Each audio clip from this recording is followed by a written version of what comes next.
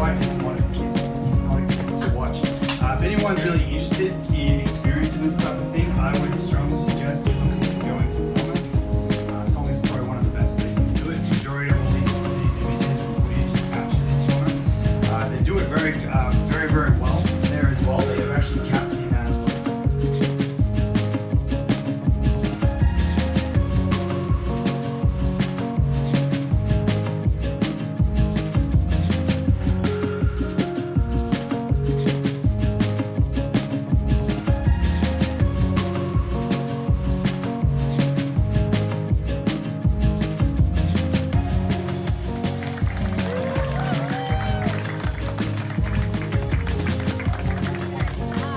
obviously, when you're doing expeditions to the polar regions, uh, you can face some challenges along the way.